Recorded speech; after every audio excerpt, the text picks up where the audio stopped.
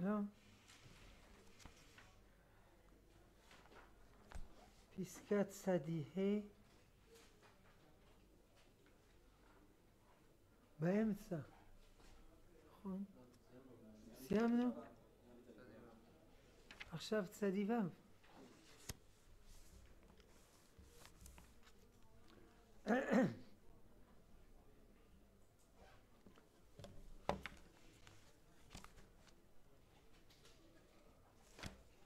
אמר הכוזרי, זוהי אמיתת הגדולה הנמשכת מאז אדם.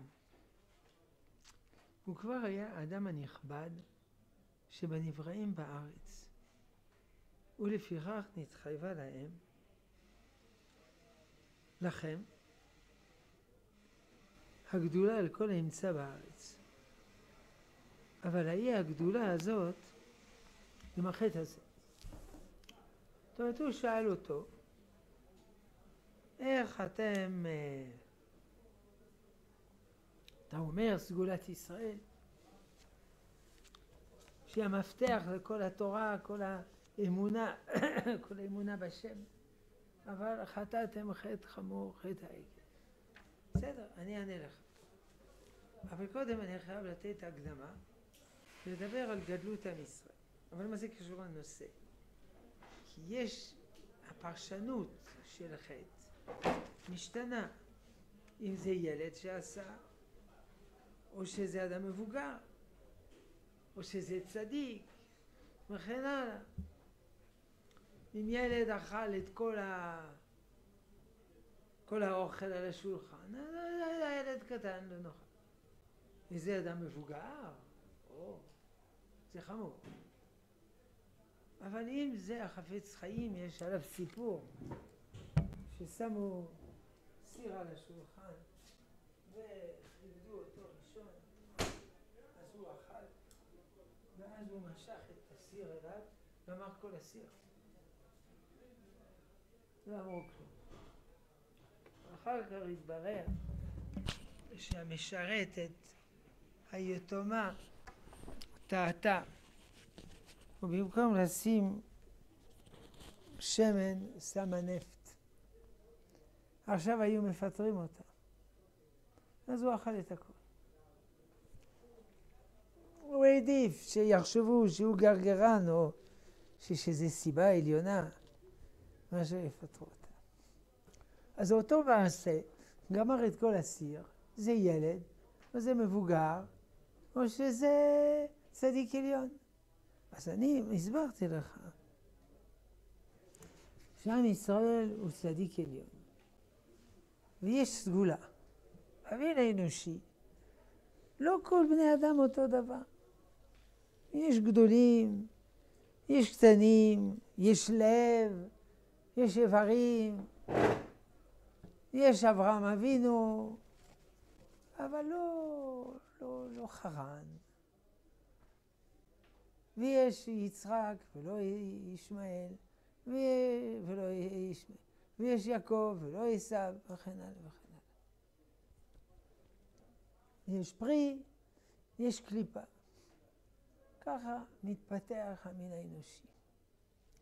ואנחנו צאצאי יעקב אבינו, ואנחנו במדרגה עילאית, וזכינו למתן תורה וכו'. אומר, אומר לו מלך הכוזר, טוב, אני מסכים. אני מסכים שאתם עם גדול. הנמשכת מאז אדם הראשון. אדם הראשון, קין לא, הבל כן, שת כן, וכן הלאה וכן הלאה. אני מסכים. הוא כבר היה האדם הנכבד שבנבראים בארץ. האדם הראשון הוא היה לעילא, לעילא, לעילא. אמנם יש אנשי מדע אומרים שאדם בא מן הקוף. אז אם אדם בא מן הקוף, זה לא, לא יתפתח מלמטה למעלה. ופה אנחנו מדברים מלמעלה למטה. האדם הראשון, ענק שבענקים, התפצל, התפצל, התפצל. אבל אפשר לומר שזה משל, שזה משל. ולא כפשוטו. גן עדן זה משל. ספר פרשת מעשה בראשית זה משל. מסכת חגיגה, פרק ב', משנה ב', אין דורשים במעשה בראשית ובמעשה מרכבה. זה סודות של איפה נגמר מעשה בראשית. והכל השמיים והארץ, אדם הראשון, קין, הבל. איפה, עד איפה זה משל, מאיפה זה כפשוטו. מי שיתעקש לומר שגן עדן זה משל, משל לומר העולם הוא גן עדן. אלא למה הוא לא גן עדן? כי אתה, אנחנו חוטאים, אבל באמת זה גן עדן. האדם הראשון הוא, הוא... זה האדם שככה צריך להיות האדם, הדוגמה של האדם, בסוף הוא יהיה ככה, אבל זה לא שהיה כזה אדם. מי שרוצה להתעקש ולטעון ככה, יכול. אנחנו מעדיפים לומר, כיוון שאין הוכחות נגדיות, שהיה באמת אדם בגן עדן. אז אתה לא מאמין שיהיה גן עדן? ודאי אני מאמין. עוד יותר. כי אם אף פעם לא היינו בגן עדן, תוכיח שנגיע לגן עדן, אולי תמיד יהיה על פני כדור הארץ מריבות ומלחמות. לא, אני מאמין, השם אמר, ותמלא הארץ דת את השם. אבל אם כבר היינו פעם בגן עדן, אז אין סיבה שלא נגיע לחזור. אני, אנחנו רבים, אני ואשתי. כשהתחתנתם, רבתם? כן. אפשר לתקן. כשהתחתנתם, רבתם? לא. אה, קל וחומר אפשר לתקן ולחזור למצב הקודם. אפשר גם, אם כן אפשר לומר שזה משל,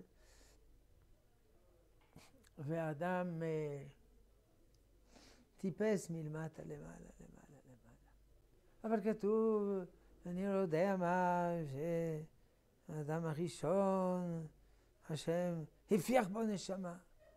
הפיח נשמה, לקח לו שני מיליון שנה. זה משאבה איטית. מה, מה, מה.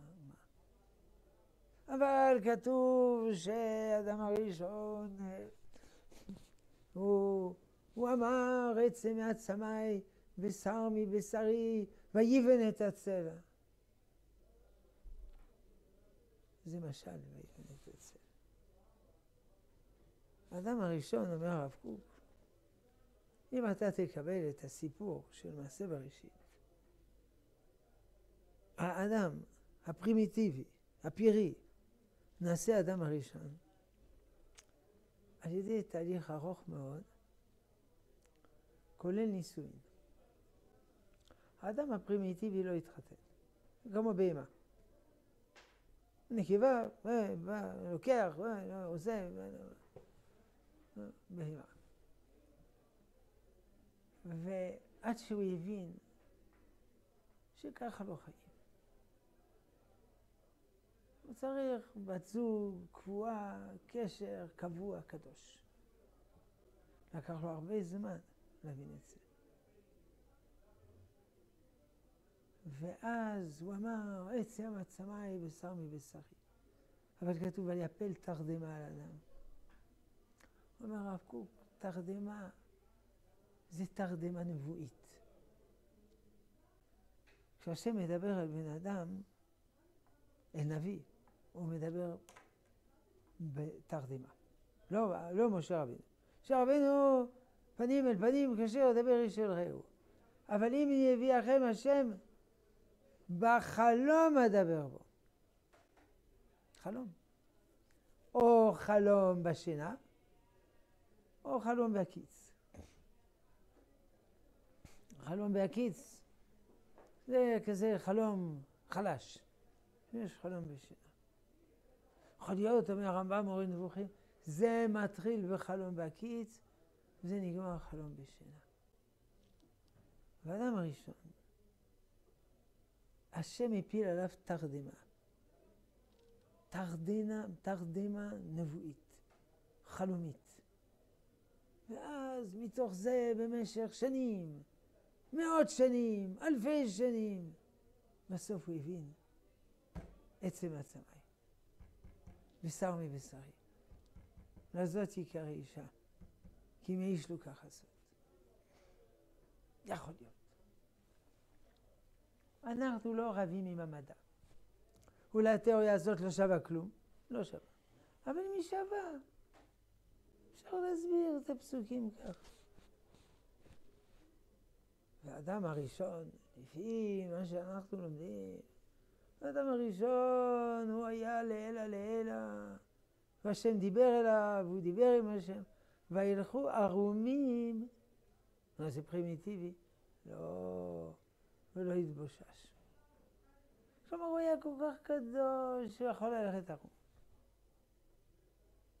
היה עם אשתו, וזו מצווה. מה לי מצווה הזאת, מה לי מצוות תפילין, מה, מה יש להתבייש? היה לילה לילה, ככה הוא מסביר פה, אדם הראשון, לילה לילה לילה לילה. ואחר כך חלה ירידה. קין, ירידה, ירידה, ירידה, ירידה. אז מה, כל הזמן נרד, נרד, נרד? לא, יש סגולה. שמחזיקה מעמד. אחר כך, בעזרת הסגולה, כולם יחזרו בתשובה.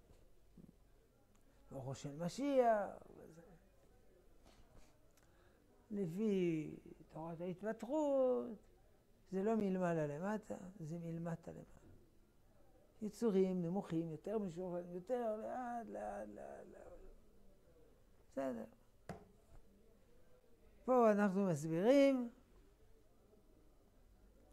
שהאדם הראשון הוא היה הגדול שבגדולים, וכל פעם חל מי שממשיך את השושלת, נדחה. ממשיך, נדחה. ולפיכך נתחייבה לכם הגדולה על כל נמצא בארץ. אנחנו מסכימים.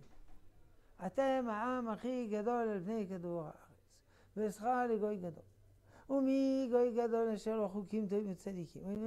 שכנעתי שאתם עם גדול. כמו יעקב אבינו, כמו אדם הראשון. אבל היה הגדולה הזאת עם החטא הזה, זה חטא נורא ואיום, וחטא העגל, ועבודה זרה. מה זה? אמר רחביה, האומות כולם אז היו עושות להם צורות לעובדם. צריך להבין את זה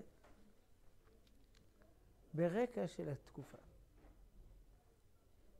שברקע של התקופה זה לא מי יודע מה חמור. אז למה נענשנו? כי אנחנו עם ישראל, אנחנו לא גויים.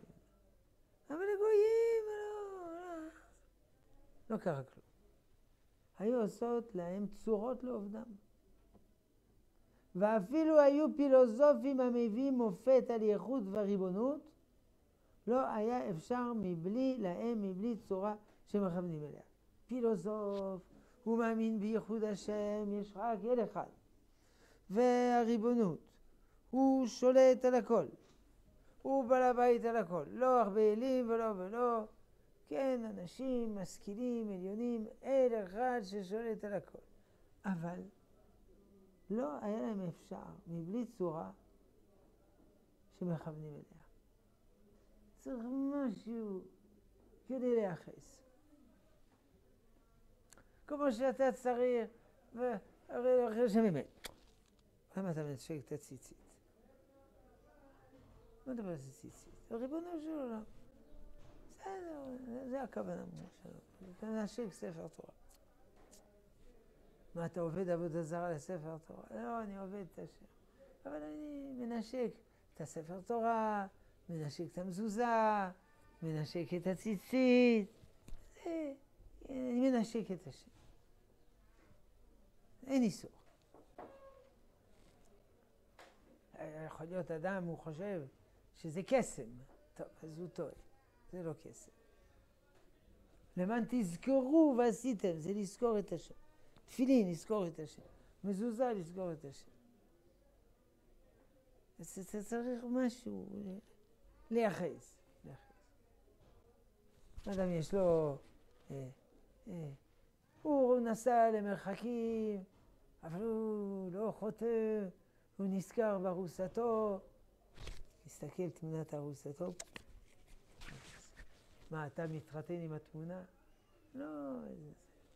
הנזיר, תלמידו של הרב קוק, הרב דוד כהן, הוא למד באוניברסיטה, יש שם בנות וזה. היה שם על השולחן תמונה של ארוסתו. זהו. ובלי תמונה אתה לא מאורס?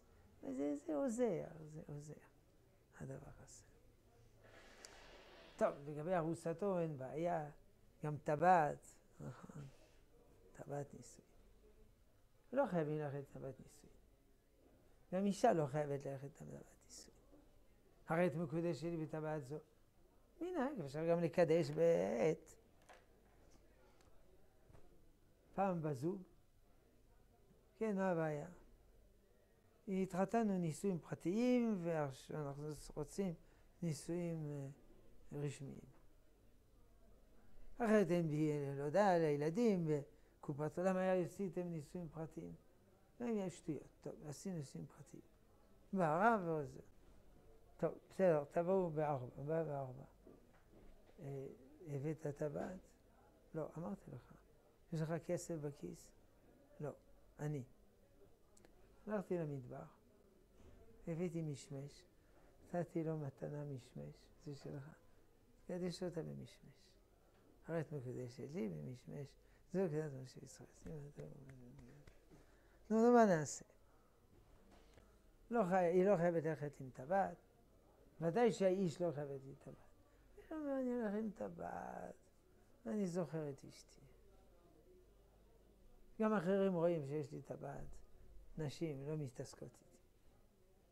אני חייל, אני סטודנט. בסדר, בסדר. הוא היה צריך להיות כזה, שגם בלי טבעת לא יתעסקו איתו, אבל שיהיה טבעת. לא היה אפשר למי בלי צורה מחמד. צריך משהו, אחיזה, גשמית. ואומרים להמונם וקהלם שהצורה הזאת מתחבר בעניין האלוקי. אה, כלומר, בפסל הזה יש משהו אלוקי. משהו מופלא, איך הוא אומר, ושהיא מיוחדת בדבר נפלא ונדיר. זה, זה, בזה יש קשר עם האל. זה, זה, זה פלאפון. זה, זה פקס. זה, מה יש עוד? דואר אלקטרוני. זה, זה, זה, עם זה אתה מתקשר. ככה אמרו. וזה לא נכון. זה ודאי עבודה זרה.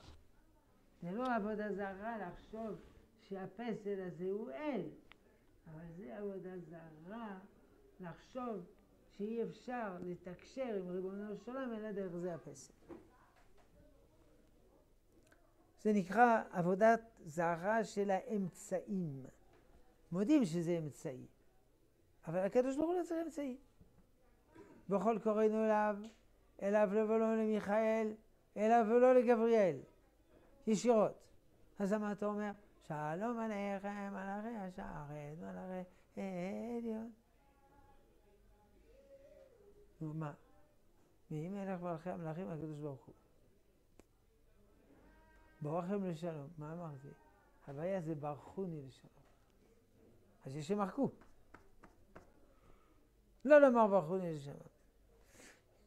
אבל כמעט כל הגרסאות כתוב ברכוני לשלום. הכוונה, שתקבלו פקודה מהקדוש ברוך הוא לברך אותי לשלום. ודאי שאנחנו לא עובדים למלאכים, אסור.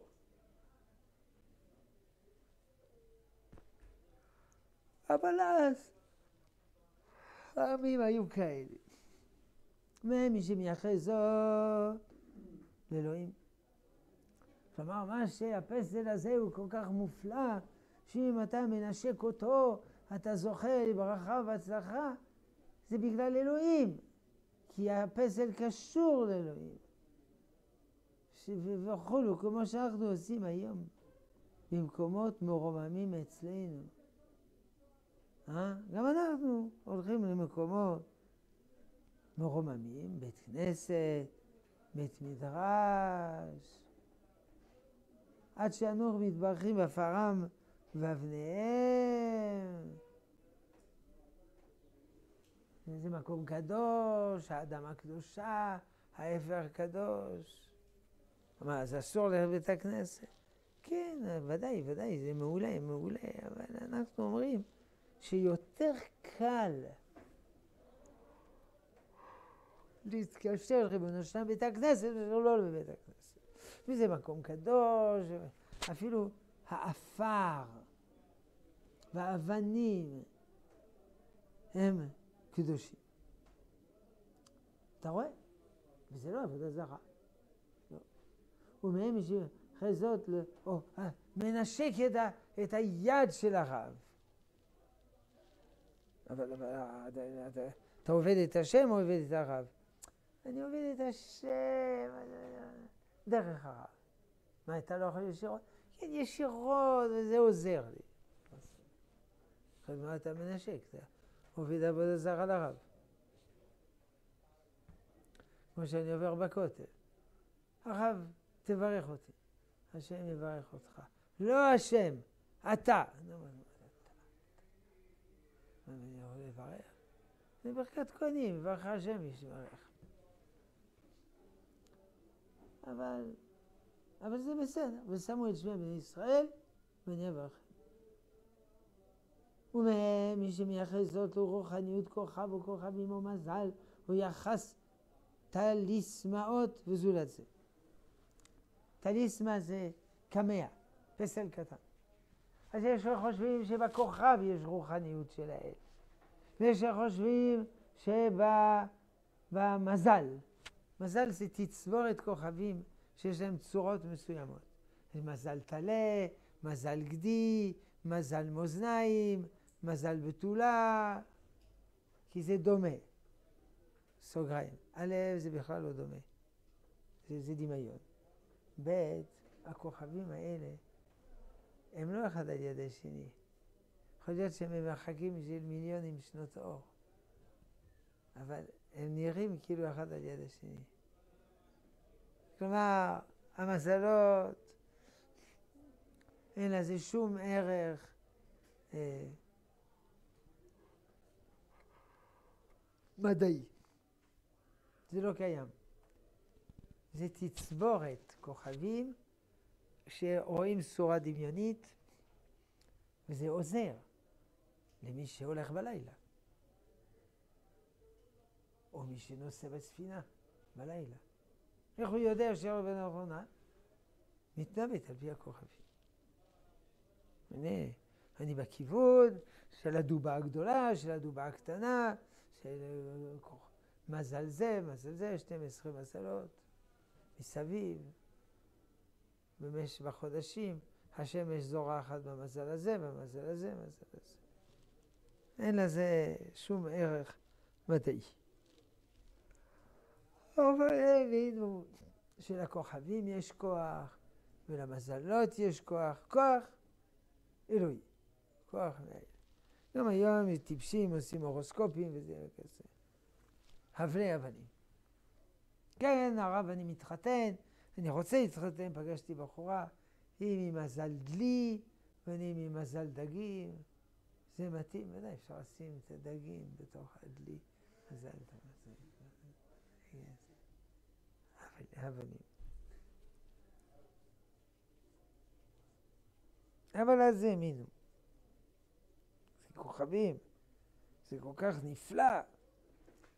כל כך זוהר, אז זה לא יכול להיות סתם. ולא היה מתחבר קהל על דת אחת, אלא ידי צורה מוחשית גמלולה. שום עם לא היה מסוגל לעבוד את האל מופשט. הוא צריך משהו ממשי להיאחז בו. אחרת הוא לא יכול. כמו ילד קטן שצריך, אה, אמא אני הולכת לשוק, חוזרת עוד רבע שעה. הנה, הנה, הנה, תשמרי על המשקפיים שלי, אז הוא שומר. אז... ובני ישראל. אבל כל זה אצל הגויים, לא אצלי. אבל אצל הגויים זה נסבל. אה, עכשיו אני מבין. חטא העגל הוא שהתנהגנו כמו גויים. מה שבשביל גויים זה בסדר, לנו זה בסדר. לא בסדר. מה שמתאים לילד קטן שזולל גלידה בכל קולות, זה לא, לא מתאים לך. אבל לא זה כאילו, העמים הם ילדים, עם ילד, אנחנו עם חשוב, לא מתאים. חטא. ובני ישראל כבר הובטחו שירד עליהם את השם דבר, שיראו אותו ויכוונו אליו. מה זה? בית המקדש. גם אנחנו נכנסים לבית המקדש, מתקשרים, מתחברים אל ריבונו שם. השם הבטיח, כמו שכיוונו אל עמודי ענן והאש בעת צאתה ממצרים. והיינו אה, משתחווים. אז יהיה במקום עמוד האש ועמוד ענן. וכך היו מכוונים אל עמוד הענן היורד על משה בזמן דיבור השם אליו ועומדים בני ישראל משתחווים נכוחו לשם יתעלה. זה, זה תפס, הענן, לא התפללנו לענן, שטויות, התפללנו לשם. אבל הענן עזר, שיהיה אחיזה. אז זה ענן, בית המקדש, וכאשר שמע העם עשרת הדיברות, ועלה משה אל ההר, מצפה ללוחות להורידם עליהם כתובים, ולעשות להם ארון, שיהיה להם לדבר, לדבר נראה שפונים אליו, בו הברית האלוקית, עשרת לוחות, לוחות הברית, והיצירה האלוקית, כי האל הוא עשה את הלוחות, מעשה אלוהים, רוצים לומר הלוחות, אז זה עזר לנו להתחבר אל ריבונו של עולם. לא שעבדנו ללוחות, עבדנו לשם. אבל תפסנו משהו. זה מזכיר את הפירוש של רבי מאיר שמחה מדוויזק בספר משך חוכמה. למה משה רבינו שבר את הלוחות? כי החטא היה שהיינו צריכים משהו מוחשי. זה עגל. שבר את העגל, אין עגל, הביא את הלוחות. אז יעבדו ללוחות. לא, זה, אמנם זה יותר קדוש מעגל, אבל צריך לעבוד את השם, לא לעבוד את הלוחות. לכן הוא שבר את הלוחות. זה הפירוש. אמר לו הקדוש ברוך הוא, יישר כוחך, ששברת את הלוחות.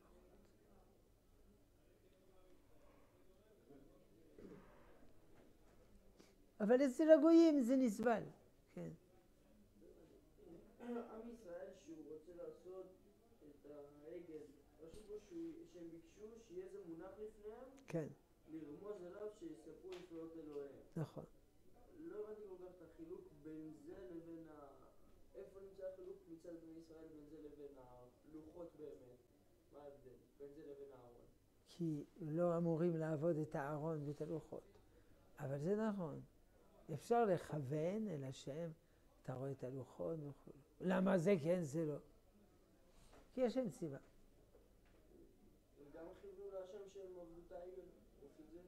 כן, נכון. לפי זה לא חשבו שהעגל הוציאה ממצרים, אלא מסתכלים בעגל, נזכרים בריבונו שלנו. למה דווקא עגל ולא אה, מישהו אחר וכו'? כי עגל, כי פער, זה בעל חיים ממושמע. חזק מאוד, כוחות אדירים יש לו. גם כבד, טונות. והוא ממושמע, והוא חורש. גם אריה הוא חזק, אבל הוא לא ממושמע, הוא לא חורש. והוא, השור, אה, ידע שור קונהו, הוא בכור שורו הדר לו, קרני רנה, קרני ראם קרניו. שור. אתה מסתכל על השור, לעולם יהיה אדם כשור למסוי. אני אהיה כמו שור, אומנם. יש בעיה, שור. הוא לא ממושמע, עגל. עגל הוא עדיין צעיר. אפשר לחנך אותו, לאלף אותו. אז אני רוצה להיות כמו עגל. לולא חרשתם בעגלתי, לא מצאתם את חידתי. הוא קורא לאשתו עגלתי.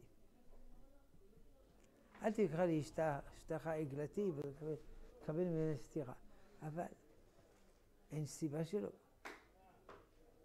עגלה יפהפיה מצרים גם כתוב. כלומר עגלה זה עדין, קטן, אפשר לאלף. אחר כך, כוח השם. חזרנו, נסתכל על העגלה, נתמלא כוח לשם. כמו שכתוב ועזקן המח, ורץ כצבי, וגיבור כארי, לך על הנמלה הצל, נפתלי היה לשלוחה, בנימין זאב, נחש, דן נחש עלי אורח, עלי דרך שפיפון עלי אורח. אתה רואה? אפשר להזדהות עם בעלי חיים.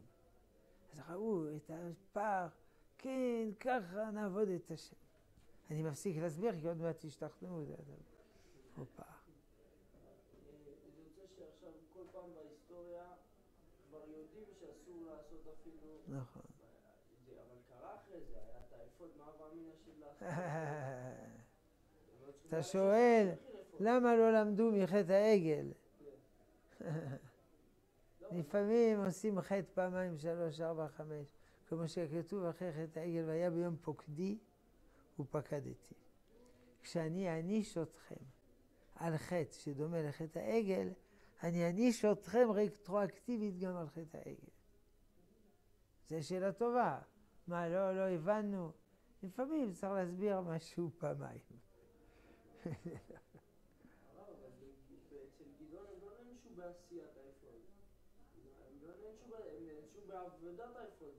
נכון.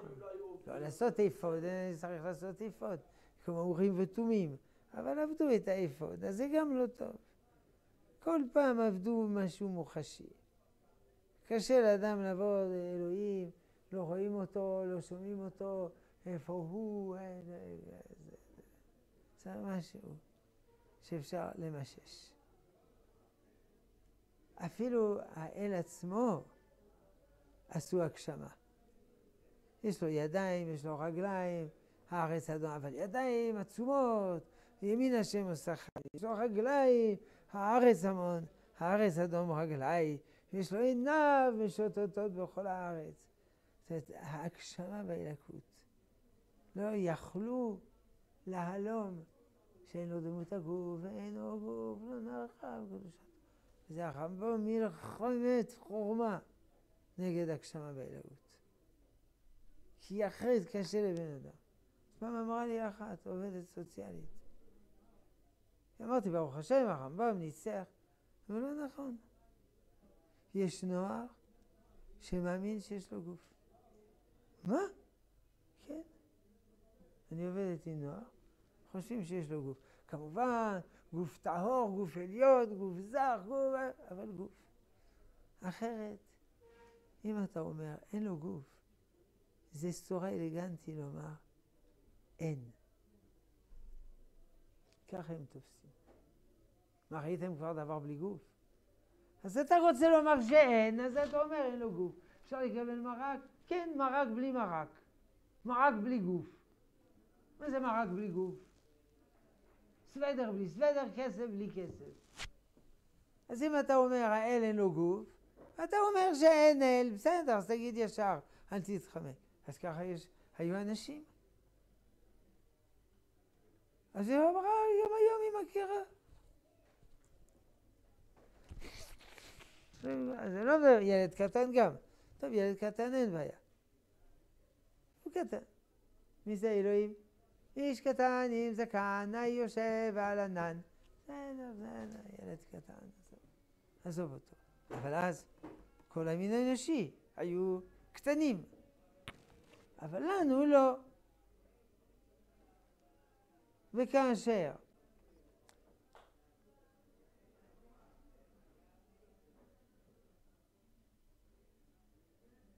ונשארו המצפים לרדת משה. גם משה הוא בעיני המתווך. רואים משה, רואים ריבונו של עולם. כמו שאנשים באים אל הרב, מנשקים את היד של הרב, וזה הרב, הרב, הרב.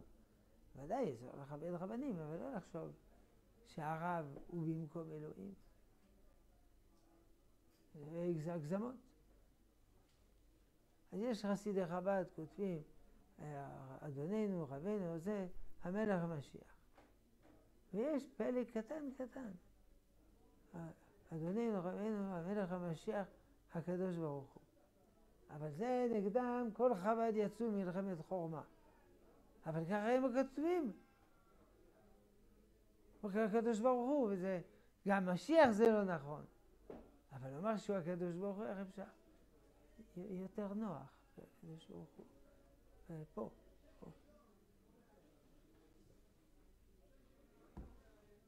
אנשים מגושמים.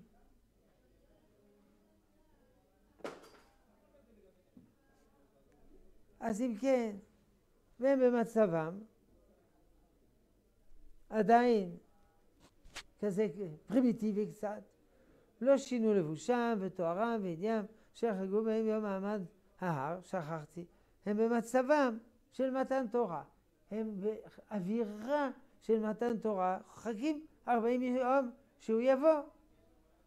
אלא נשארו תכונה בצד משה לרגעים, נו עוד רגע הוא מגיע, עוד רגע, הגיע יום ארבעים, הוא בושש מהם ארבעים יום, עברו ארבעים יום והוא לא מגיע, אז מה יהיה? והוא לא לקח צידה. אז כנראה הוא מת. ולא נפרד מהם, לא מתכוון ללכת ליומו. הוא אמר שהוא הולך ליום. הוא לא אמר אני הולך לארבעים יום.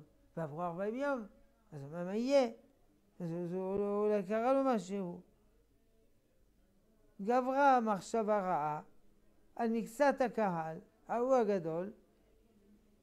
זה התחילה יוזמה מקבוצה קטנה.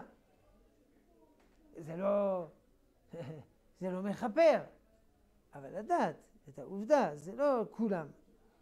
כולם שתקו. והחלו יעמון לחלק לכיתות. מוויכוחים, מה נעשה, הוא יחזור, הוא לא יחזור, כן, לא, ויכוחים. ורבו דעות וסברות, כל מיני שיטות, שיטות, מה לעשות? ריבונו של עולם הלך. עד שיזמו אנשים מהם לבקש נאבד, נעשה לנו משהו שאפשר לעבוד אותו. שיכבנו אליו, כי שאר האומות. זה לא במקום ריבונו של עולם, זה מתווך, כמו בית כנסת. מבלי שיכפרו באלוהות, הם לא כופרים בשם. מי שהוציאה ממצרים. אמרי אלה אלוהיך שהוציאו לכם מארץ מצרים. ובאמת אה, אה, העגל הוציא אותם ממצרים. אם לא היו אומרים אשר עוצר ממצרים, אפשר לומר אולי באמת כיוונו לעבודה זרה. אבל אם אומרים אשר עוצר מארץ מצרים, חז"ל אומרים בגמרא, בלי המילים האלה אשר עוצר מארץ מצרים, נתמוטטו רגליהם של ישראל, אפשר להאשים אותנו בעבודה זרה, אבל אם אשר עוצר ממצרים, ברור שהעגל לא הוציא. זה ריבונו שם שהוציא, אלא דרך העגל נעבוד את השם. ניקח דוגמה.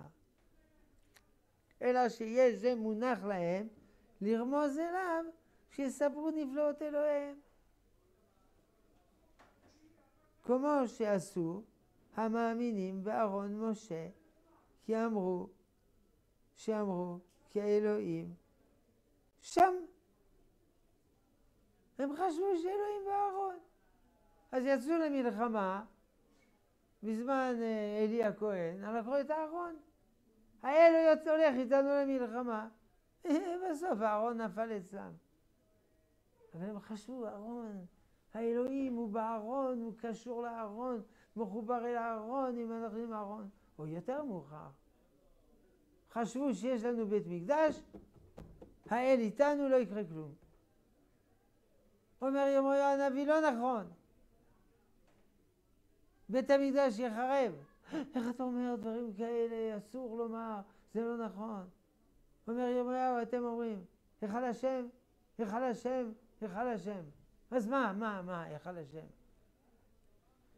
אה, דיבר, לקח בקבוק יוצרים שם, על יד גיא בן שבר על הרצפה, אמרו לו, מה זה? זה מה שיקרה לבית המקדש. איך אתה מדבר ככה, אסור, אתה מבזה בית המקדש, תפסו אותו, עשו לו משפט שדה, החליטו לדון אותו למוות.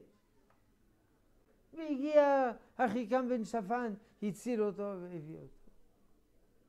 אז חשבו שבית המקדש זה קמע, טריק. הבית המקדש הוא קמע, האפוד הוא קמע, הזה, עגל הזהב הוא קמע, לא יודע מה עוד.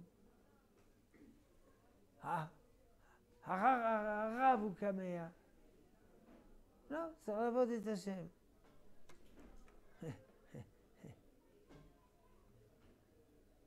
חסידי ברסלב אומרים משהו כזה.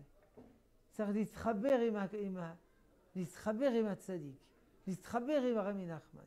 אם אתה מתחבר עם רבי נחמן, תתחיל, תצליח להתפלל השם. הם אומרים משהו כזה. ודאי צריך לכבד רבי נחמן וזה, אבל אפשר להתפלל השם ישירות בלי רבי נחמן. מה זה אפשר? צריך ישירות בלי רבי נחמן. ובלי משה רבינו ובלי אברהם אבינו. ובלי מיכאל ובלי גבריאל. אבל ככה טעו. אלא שיהיו זה מונח להם לרמוז אליו, כשסברו נפלאות אלוהיהם, מסתכלים עליו זה עוזר. כמו שעשו מאמינים בארון משה, אה, אמרנו, שאמרו כי האלוהים שם. הוא יצא בקרב, ויקחו אותו לקרב, הוא נפל בקרב. וכמו שאנחנו עושים בשמיים, אבינו שבשמיים. אבל הוא לא בשמיים, הוא בשמיים ובארץ. אחד אלוקינו, אלוקינו, שבשמיים ובארץ. אז מה אתה אומר אבינו שבשמיים? אה, יותר קל לכבד. אבל הוא גם בארץ. נכון. אבל זה עוזר. בסדר, מותר. ובכל דבר שאנו סבורים שתנועתו, אמנם היא ברצון השם, מבלי מקרה, ולא רצון אדם ולא טבע. הוא לא בשולחן. בשולחן בן אדם עשה. השמיים, השם עשה, מנהיג את השמיים. כי ירא שמך מעשה אצבעותיך. מה גדלו מעשה השם?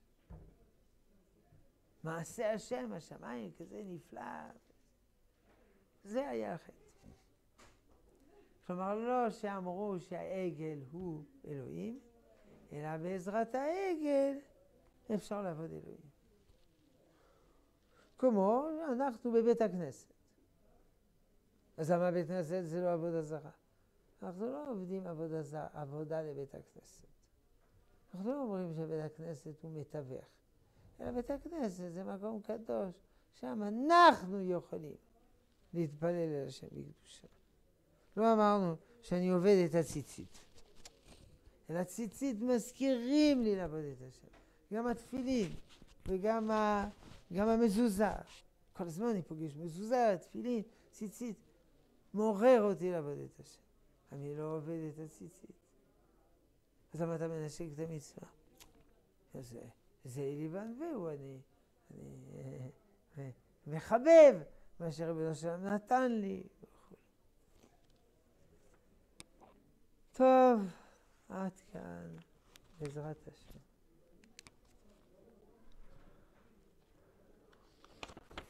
נמשיך להסביר הרבה חטא העגל.